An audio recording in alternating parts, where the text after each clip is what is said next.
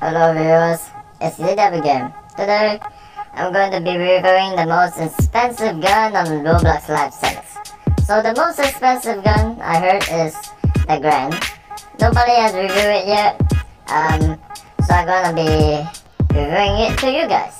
Because I've got 30k on me right now, and I'm very, I'm so nervous, I'm so curious about what's so expensive about Garand.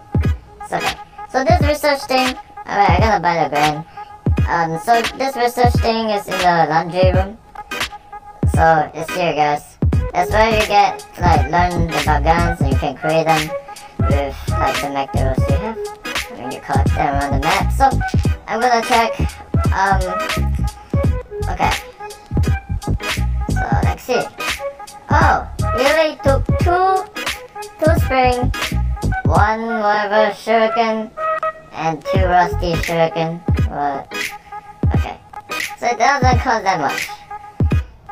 So I expect more honestly for the most expensive gunny game, but seems like it is less than what I have expected. So I gotta be right back and go collect materials around the map off camera and I gotta be right back. There we go guys, I'm back. So we have just collected materials and I think that's enough for Garand.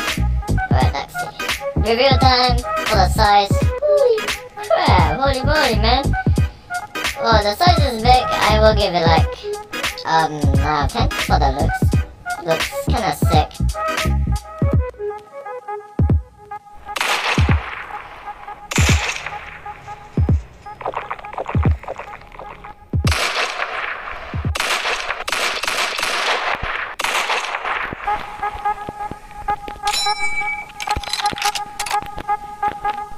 Okay, so I finished reviewing the stuff about other stuff about Garand. So I gotta say my opinions and thoughts here. So for me, um, for the damage, um, the that uh, is like out of ten, I will rate it like five maybe because it is like on average, oh, way worse than average. It does like five shot to finish a opponent, and yeah, even the higher cap and ammo can do like way better. And the reloading speed takes only like 3 seconds or less, less than 3 seconds actually. Or like almost there. So I'll rate it like 8 out of 10. Yeah, unlike the other guns it only takes like 6 to, for it to be reloaded. So yeah, obviously it's an 8 out of 10. Um, maybe because the other guns takes like 5 seconds or 6. For the shooting speed, I'll rate it 6.5 out of 10 because this it is indeed much faster, like a little bit much faster than average.